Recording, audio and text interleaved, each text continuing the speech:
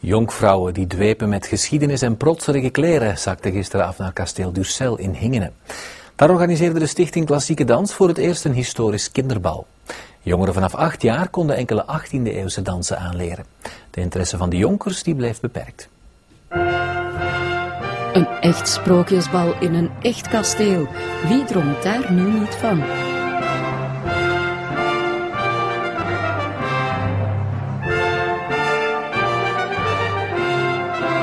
Zou je dat zien zitten, zo echt in een kasteel wonen? Ja. En eh, dan gaan we lakeien mij bedienen. Dus Jij wil later prinses worden. dat weet ik nog niet. Hoe komt het? Omdat dat wel heel druk is. Want dan moet je alles regeren. En dat is een beetje moeilijk, want soms komen de mensen niet overeen.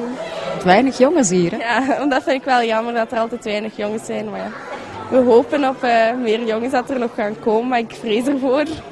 Misschien eentje op een wit paard, hè? Dat zou geweldig zijn. ik zou direct meegaan. De prins daagt voorlopig niet op, maar dat laten de jonkvrouwen voor één dag niet aan hun hart komen. Er wordt hoe dan ook ijverig geoefend op de dansen van 300 jaar geleden. En dat was in die tijd trouwens niet anders. Er waren van die namiddagen waarop de kinderen al eens konden doen alsof er een echt bal was. Ze konden dan ook de dansen al leren. En tegen dat ze 18 waren, dan konden ze het. Dus vroeger deden ze het ook. En wij vinden het ook belangrijk om dat nu te doen.